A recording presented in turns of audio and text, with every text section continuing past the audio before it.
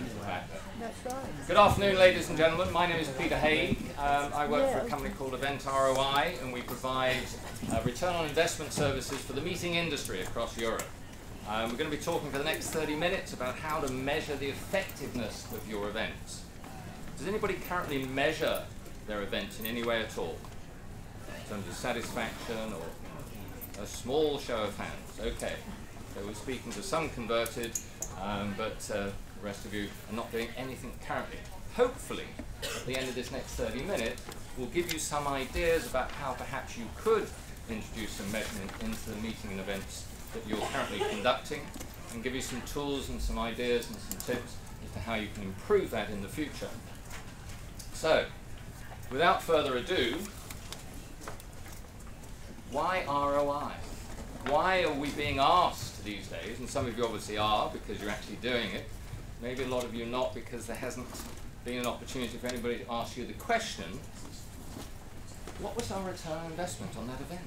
We just spent, maybe you're spending 60,000, 80,000, 100,000, 250,000 on a conference. The pharmaceutical industry spends 2% of their revenue on conferences. Wow. Imagine how much GSK or Sanofi or Pfizer or any of these big companies are spending on conferences to convince their clients, whether they're doctors, uh, medical people, whatever it may be, to buy their particular product. It is a huge amount of money. If anybody's familiar with SAP, they do. That, does anybody work for SAP? No? They hold a huge conference called Sapphire. And again, the guy who organizes that, Lucas Avetta, is very much aware of the need to measure the return on investment because his C-level executives, CFO, CMO, whatever it might, CEO, are asking the question, Luca, you just spent a huge amount of money on this conference, millions of pounds, millions of euros, what have we got to show for it? And if all you can tell, all you can say at the end of the day, well, everybody had a great time, they're up in the bar till three o'clock in the morning, drank the place dry, and everybody had a great time, that doesn't really show return on investment. The other thing is the role of the meeting planner is changing. This may you may be already experiencing this. But historically, it was very much in the logistic box. You were very much involved in logistics, getting the revenue, uh, the, uh, the, the venue, organising transportation, the food and beverage, the speakers, the setups, and what have you. Very much a logistic role. But in a lot of companies now, the C-level executives are recognising that events meetings and what have you. Certainly events are part of the marketing budget and every other aspect of that marketing budget is being measured in some way. So they're now beginning to say, well, we're holding all these events, client events, whatever they may be. How can we measure it in the same way that we're measuring our other marketing activities? Similarly, the CFOs and C-level are saying about all of their events. They say, well, why are we holding this event? What mm-hmm. return on investment have we got? What does it do to move the dial in the way we're running our business? So first of all, there is this aspect that the role is changing of the meeting planner to become more strategic as companies are recognizing the amount of money they're spending on meeting and events and they don't really know what they're getting out of it. So those are some of the things we will address in the next 30 minutes or so. Problem is, a lot of people say, oh, it's awfully complicated, it's all mathematics, I've got to do so much work to be able to measure these events. Yes, if you're really going to measure the return on investment at a high level, there is a lot of effort involved in terms of data collecting, converting things to, to monetize it and what have you, to be able to show the benefits of the meeting versus the costs of the meeting. Because at the end of the day, if we've got some costs involved, hopefully there'll be some benefits as well. But what I'm going to discuss uh, the next 30 minutes is that we don't have to measure everything to a full ROI perspective. And there's some simple things that we can do to start off with to move the dial and to start implementing some measurement tools within the meetings, for the meetings and events that we're currently uh, conducting. So let me start off by telling you a story about, there was a franchise cleaning company and uh, they'd already, um, already organized an event. This was an annual event they always held and it was you know, the usual sort of format, the CEO would stand up, the financial director would stand up and show how wonderful they've been and the marketing people would tell about all the new initiatives they were going to introduce and the salespeople were there and what have you. They'd have a gala dinner, they'd have a motivational speaker, Sound familiar? These are sort of things that a lot of companies organise, but have they really decided what it is that they want to accomplish? So the CEO of this particular company approached one of our colleagues, Mark, and said, look, you know, we want to know, are we getting return on investment for this particular event? And he described what they were doing and what have you. And Mark asked a few simple questions. He said, why are you holding this event? What are your objectives? And that got me thinking, well, I'm not quite sure why we're doing it. You know, well, we want to get all the franchise together. Okay. What is it you want them to do differently? And why aren't they already doing it? And this really posed some serious questions to the franchise uh, senior management and what have you. So he said, well, let's break it down. Let's start off with, well, who's your audience? And within this uh, franchise setup, there were people who'd got small businesses, some had got larger businesses, some had only just recently started with this particular franchisor in the cleaning world. Some were quite extensive, doing a lot of contract catering. There was a wide range of people. And he said, well, what is it that each of those groups want to learn? What is it that would help them improve their business? So they determined, in fact, that there was a lot of uh, maybe financial help they could provide. They could perhaps provide some help with their sales techniques. They could perhaps provide them with greater technical support to help them use the equipment more effectively to, to help them reduce their costs. So there's lots of little different things that they decided that perhaps these franchisees needed to know, needed to understand, be able to run their business better. Because at the end of the day, what does the franchise company want to do? They want to increase their sales. If the franchisees are successful in their own businesses, then they're going to get more money as well. So by asking those first few questions, why are you holding this event? What are your objectives? What do you want your audience to do differently they're not already doing? And how can we help them do that? Then they decided then to change the whole format because what the organization realized is that what they needed to do wasn't what they had already planned. Fortunately, the venue did have some extra space, so they cancelled the motivational speaker, they changed the different event setup, and they had a lot of business exchange um, events, which were then much more successful because it helped the company achieve their objectives, which is obviously to increase sales.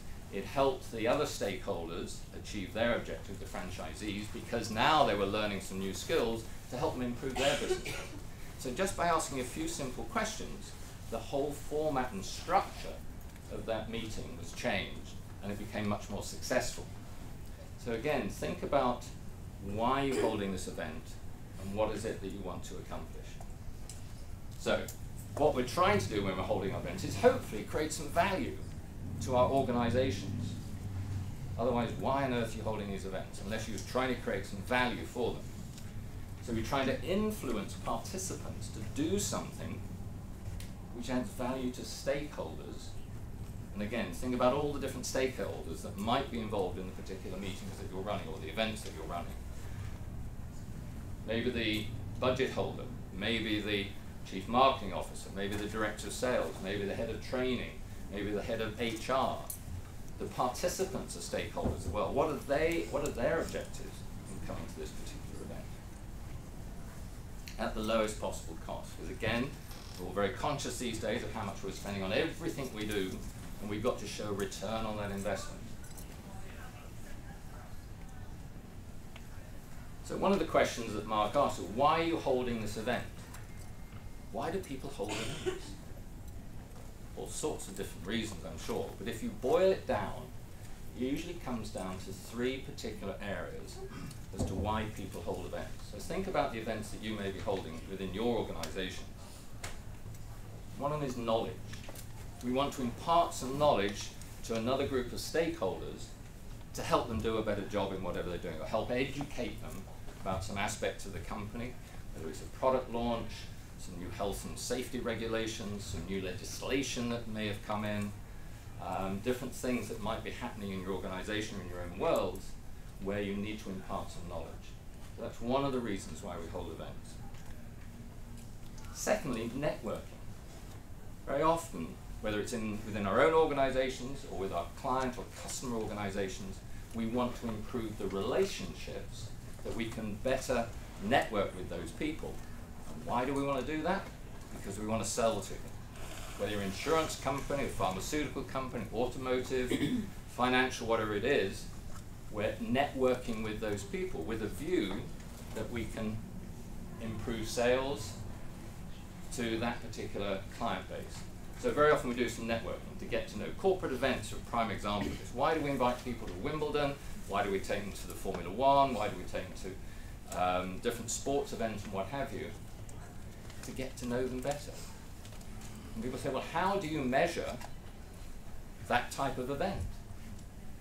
Well, maybe if we found out beforehand, ask the participants, ask the sales team, on a scale of 10, how well do you know these people? What do we know about them? What's the value of their business? Then you hold the event, everybody gets to get to know each other a lot better, salespeople get to know their customers a lot better. And they said, okay, based on scale of 1 to 10, how well do you know them now? What will that relate to and what will that mean in terms of sales in the future? So networking is another. Again, um, maybe your company is merged with another company. Happened to me when I was in the hotel business. Marriott took over some hotels in the UK and we had a lot of networking events to get to know the other team, to understand their culture, so that we could merge those together to make it a much more successful business. So maybe that's another type of networking that's going on. And again, why do we hold those events? Because we want to have a much more successful business, and that's the, the reason why we did that. The third reason, third main reason why you might be holding meetings or events is to motivate people. I know we're competing with Christmas parties over here in the, the other room. Why do people hold Christmas parties? Part of it is to recognize people, maybe at the end of the year. Part of it is to motivate people to feel better about the company, pat them on the back, say what a great job you've done, we've had a really great year. Well, how do you measure the ROI on that? Well, do we increase sales the following year, or do we save costs? Do we reduce our turnover of staff as a result of the relationships and the motivation that we've engendered at that particular event, and therefore we're saving costs maybe in the first quarter of in hiring new people because we've lost a lot of people. So again, you've always got to think about, well, why are we doing this? What are we trying to do? Are we trying to increase sales or reduce costs by holding this event? And then the next question that Mark asked is, what are your objectives? What is it you're trying to accomplish either from a business impact perspective, or what is it that we need them to learn from a knowledge perspective. So these are some of the questions that you need to start asking when you're holding events. And it might be upsetting to some of the senior management if you're a meeting planner you've been told to organize this event. If you ask the question, why are we holding this? Well, don't you? Well, the chairman wants to hold this event. Okay, what are our objectives? And that gets people to come short because maybe they haven't thought it through enough to understand why you're holding the event and then what are the objectives. So we'll help you with one or two questions there as well. So we've got to link needs with evaluation. We're going to be able to evaluate these events to see whether we have got a return on investment. Then we've got to say, well, why are we actually holding it in the first place? What are our needs? So there's different levels that we need to look at. It may be at the CFO level, He's saying, you know, we're spending all of this on our meetings and events this year. What's the payoff? What are we getting back in return? And that's where you'd establish your ROI objectives. Or it may be there's a business need. Maybe there's a crisis in your business. Maybe you're launching a new product. Maybe you need to, there's some know, health and safety regulations changing. Maybe some new legislation which is changing the, the playing field for your particular company. Can you imagine the meetings that have gone on in VW in the past year in terms of the challenge they've had with that uh, um, diesel um, control mechanism and the meetings that they must be doing now to try and change people's perception about the business? Huge business need there. Similarly with Sports Direct, I know Mr. Ashley and uh, the ways he's been running the business and again, in the news recently, in terms of the minimum wage in their warehouse in, in Derbyshire, again, there's some cultural changes that need to take place in that business. A, to convince customers still to buy their product, but also to maintain the staff by fostering a better working environment there for them. So there's some, sometimes there's some business needs that you need to be looking at in terms of, well, why are we holding this meeting? is there a specific business need for us to hold this particular meeting or event? And then establish what we call some impact objectives. What is it going to do with regards to the success of our particular business? If it's not going to change the business and improving sales or reducing costs, then why are we holding this event? All people businesses. Therefore, we need to look at behavior. What is it we want people to do differently? And how can we establish some application objectives to help them do something differently, which will then have a business impact? Be able to change behavior. Maybe they need to learn some new skills, change their attitude, improve their relationships, whatever it may be. And we look at also preference needs, reaction. What do we expect their reaction to be to our particular event? And again, setting all objectives in each of these areas so that we can measure these after the event. Sometimes we have to do some measurement beforehand. Where are we starting from? What's our current base of knowledge? What are we doing in terms of developing a learning program to help people learn something new? And then how can we measure that afterwards? So some things we do when the meeting is conceived, some things then we have to do before the meeting, and then some things after the meeting as well. So it's all part of this process to be able to measure the effectiveness of your meeting and events. But it all starts with getting the right people. You've got to get the right people to the meeting. If it's just a numbers game, then you're wasting a lot of your resources in getting people involved in a conference or event um, that are not really the right people. Again, I remember when I was in the hotel business, we used to do a lot of what we call familiarization trips, when would take groups of clients over to see our hotels in New York or Washington. Um, those are days when we used to fly Concorde as well, it was wonderful. Um, and you get all the top players in the travel agencies or the incentive companies or the meeting companies and what have you and say, right, we're going to take you over to see our wonderful new uh, New York Marriott Marquis on Times Square. And then someone would call up and say, I'm awfully sorry, I can't come. Do you mind if I send my secretary? And you think, what? Is she the right target audience for us? No, she's not. But do you turn the customer down? Very difficult thing. But what I press upon you is sort of make sure you get the right target audience who's coming to that particular event. Secondly, then, creating a satisfaction and learning environment which is appropriate.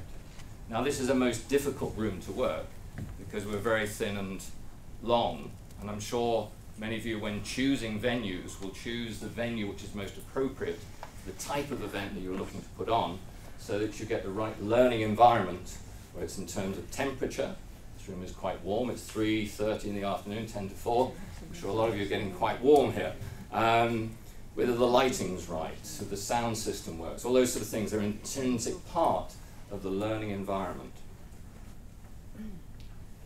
So let's look at some satisfaction and reaction objectives. These sort of things, this is the important line. Focus on content issues when you're doing reaction to a particular venue.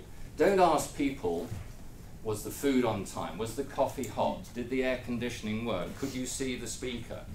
You can tell that by walking into the room. You don't need to ask 300 people what their reaction was to those logistics things. What you're trying to find out here some content issues. Focus on the content issues. How relevant is this program? Will you use the concepts or advice as a result of attending this event? Is this new information? Did you already know this? Those sort of reaction and satisfaction objectives that you should be setting and the sort of questions you should be asking. See, everybody's scribbling notes. I'm very happy to send you copies of these slides if you want to afterwards to save you writing all this down at a furious rate. So we've got the target audience. Satisfaction and learning environment is critically important to make sure that people are in the right frame of mind to be able to learn. Then we go into the learning stage in terms of what is it we want people to learn, to change their attitude, to have a business impact. Different areas that we need to look at. In terms of setting those learning objectives, is it a question of imparting information? As we said before, technical information, uh, health and safety, uh, legislation maybe, whatever it may be, that we need people to learn and understand to be able to change their behavior. Is it skills? Maybe new skills that people need to learn to be able to do the job better, whether they're working in a customer service environment, at a telephone reception center, on the front line, face to face with your customers, whatever it may be. But are there skills that they need to learn? I said, my background is in hotel sales and, and marketing, but we did an awful lot of training, customer face to face type training, to make sure that our staff were providing the best level of service, the highest level of service to the customers that we were dealing with, or that the food was presented well, that the chefs were preparing it right, that the waiters knew how to present things. Maybe a completely different level to what you may be working with in your organization, just to give you an idea of the sort of things that sometimes skill deficiency is there that you need to look at so that they can improve their performance. Maybe it's attitudes. Maybe you have merged with another company. Maybe there's something going on in your environment where people's attitude isn't as positive as perhaps it could be to make sure they are working in the best interests of the company. A lot of attitude training maybe needs to go on within the Labour Party, I think, at the moment. Boy. Um, relationships. It may be that you need to improve relationships. We talked about networking, but again, what is it that we can do to help improve in relationships so that we can have a more successful business at the end of the day? So there's four different things there we need to look at from the learning objectives perspective. And again, just some simple ideas of the sort of learning objectives that you should establish so that you can then measurement, measure them at the end of the day. And it may be that you only just measure the satisfaction reaction if you're not already doing it based on content issues.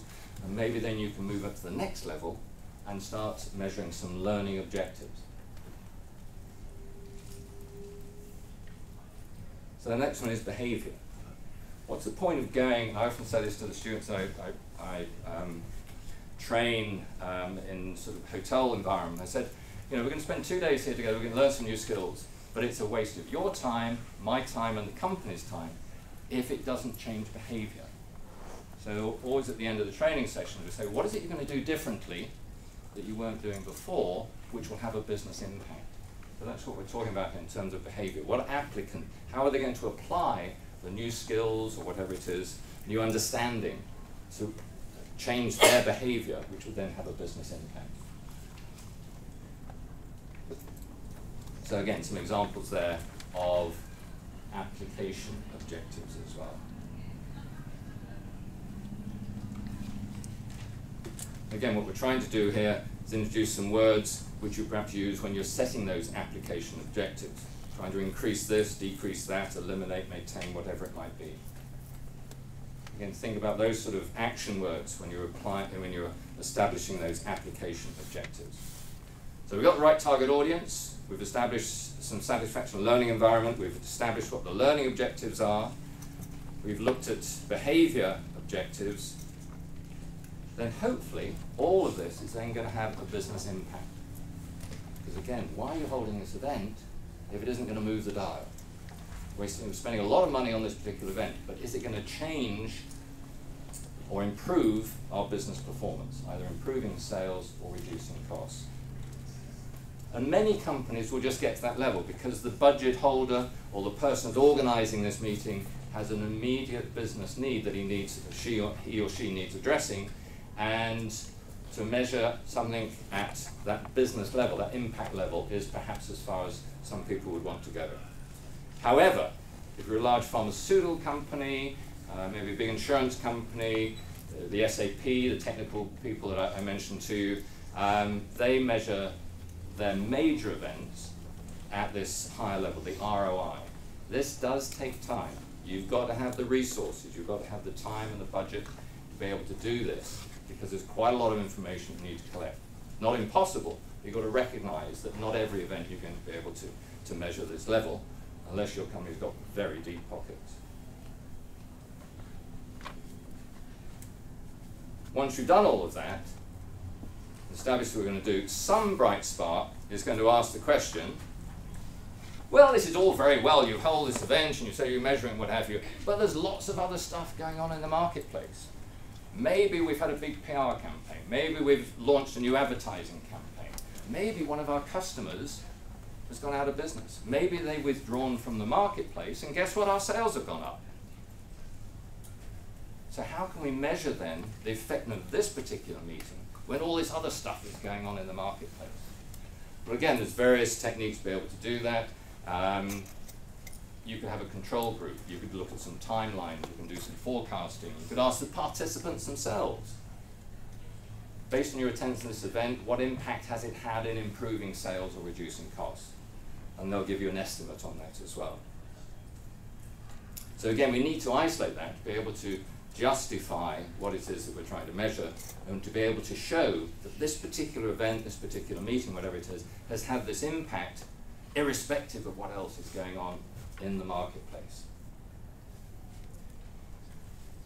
To be able to measure at that ROI level, we've got to monetize everything, put everything into a monetary context so that we can measure it. Now, measuring the cost of the meeting is perhaps quite easy because you know what you're spending on the venue, on the speakers, on transportation, on food and beverage, on AV, on stage setup, and what have you. You can even measure the cost of the time that it takes for those participants to come along to your particular event. So you can do that certainly from the cost side. The challenge is measuring it from the benefit side. What's the benefit of this event? How can I measure that? And again, we need to be able to show by talking to the participants, looking at the measurement criteria we've got within our companies, isolating the impact of that particular event to say, right, these are the benefits from this particular meeting, so we can compare those with the costs. So all of this comes under this ROI methodology, which has been developed some time. Jack and Patti Phillips um, have written, written many books on this subject. There's lots of practitioners around the world. Um, I first got involved with this uh, when I was a member of Meeting Professionals International, MPI. Is anybody a member of MPI? Anybody heard of MPI? MPI is the largest meeting association for meeting planners. There are over 23,000 members, and there's chapters in many European countries as well as in the United States. And MPI members were coming to the executive MPI about 10, 15 years ago saying, look, you know, we're being challenged by our major corporations to be able to measure the effectiveness of our events. So MPI went out and found Jack and Patti Phillips, who've got this ROI methodology, which has been established for many years, and it has an evaluation framework, there's a process to it, there's applications and practice, they've written many books on it, and it has some operating standards and philosophy. So even if your CFO is challenging you, say, well, you know, ROI, I understand that, but show me what you are doing has some basis and some credibility. And again, the ROI methodology has been used in many different environments to be able to prove that in fact it is a very robust uh, process. Now we come to the math part. How do you define return on investment? As I said, you don't do this on a small number of uh, meetings possibly. But again, it just gives you an idea whether we're working on a benefit cost ratio or looking at the actual ROI on this particular event. So we look at the meeting benefits, which I said earlier, need to be able to capture and be able to measure those. We've increased sales or reduced costs by this amount. This is the benefit from this particular meeting. And dividing that by the meeting cost, be able to get that benefit cost ratio. Or to do an ROI, you take the meeting benefits, subtract the meeting cost and divide by the meeting cost. Let's look at an example. Cost of the meeting is 80,000. Benefits for the first year, 240,000. Anybody tell me what the BCR is, the benefit cost ratio? Would drive you misery. Three. So you take benefit, divided by the cost, 80 into 243. 200% ROI. Then the next question is, is that good or is that bad? Well, until you start doing a certain number of meetings and look at the different return on investment you're getting, you're not going to have any sort of benchmark to be able to measure this against. Fortunately, as I said, Jack and uh, uh, Patti Phillips have written many books on these, including some on measuring uh, the effect of or the impact of meetings and events. So there's lots of examples in there that you could even have a look at and say, well, that's very similar to my event. They got this sort of return on investment. Maybe this is what we should be aiming for. But as I said, then you've got large events, and the, the budget, the data, the resources to be able to do it, would you get to that ROI example? What I'm encouraging you to do is to think about how you can move up that pyramid from a satisfaction reaction level to start measuring learning, application, and business impact objectives as well. So see how easy it is? It takes a lot of time, but it's well worth the end of the day because as I said, your role is changing from a logistics role in many companies into a more strategic role as companies recognize A, how much they're spending on meeting events, and B, with many companies, it's part of the marketing spend and they need to be able to show the return on investment. So here you have a tool now that you can use and say, hey guys, this is something that perhaps we could implement to at least start measuring some of the other things other than the fact that everybody had a great time. Because believe me, if you're not already doing it, guess what? Your companies will begin to ask these sort of questions. And it may be feather in your cap if you say, do you know what? I think we ought to start looking at this because I know we're spending a lot of money and we need to be able to measure some of these things more accurately to be able to justify the budget. A lot of organizations, if you can't show that it's been worthwhile, guess what? That budget gets taken away. So, rather than just saying, hey, everybody had a great time, yeah, we're going to hold it again next year and we'll just use the same format and everybody seems to be happy with it, based on anecdotal evidence in the bar at 2 o'clock in the morning, why can't we produce a scorecard measuring some of these things as well? To be able to say, not only do we have a number of participants, we had this many meetings, but we were able to measure the amount of learning that people did and how they related to that event, what their reaction to it was, what they learnt, how they applied that, and did in fact have a business impact. Where can we go to get some resources? A couple of things. EventROI.org is the European Meetings affiliate of the ROI Institute, which is based in the States. My colleague Elling Hamso runs a lot of events. The next one in London is on December the 7th and 8th. It's a two-day seminar where you will learn with a small number, more small select number, maybe up to eight fellow meeting planners, all about the ROI methodology, how you can implement it for the events that you might be holding yourselves, and you'll bring along a particular event you want help with, and Elling then acts as a consultant after that particular two-day seminar to help you implement the ROI methodology, be able to measure those particular events. So if you go to eventroi.org, you can learn about that next seminar. Um, another thing you might want to have a look at, and it's not listed here, we talked about the three reasons why people hold meetings and events. Knowledge, networking, and motivation that whole concept is all part of what we call meeting design or meeting architecture, which is a concept developed by Martin Blank. Vanneste. Thank you very much indeed. Martin Vanneste, you know him. Um, Martin Vanneste in Antwerp, and it's all part of the Meeting uh, Design Institute. So again, you can go online. There's a lot of help and information there in terms of if you're looking at ways that you can improve um, your knowledge, network, and motivation, some, some ideas in terms of how you can implement some of those things for your meetings. As I mentioned, Jack and, and Patti have written some books, um, and one that might be pertinent to you with regards to meetings and events is proving the value of meetings and events. Again, these can be found on, online through Amazon, or whatever. Beyond learning objectives, a particularly useful one because it really helps you establish what the objectives and how to write objectives so you can go to your senior management and what have you, right, these are the objectives we should establish for this particular event. And again, very useful there as well. We won't do that. We've run out of time, ladies and gentlemen. So just leaves me to say thank you very much indeed for your time. Thank you very much. We've covered an awful lot there. We've just gone sort of paintbrush thin over what would take two days at least on a whole seminar. So I appreciate your patience. If you would like a copy of my slides, please come up with your business card. Be only too pleased to send those to you. Um, but also go to eventroi.org and a lot more information there as well. Thank you very much indeed for your time. Thank you.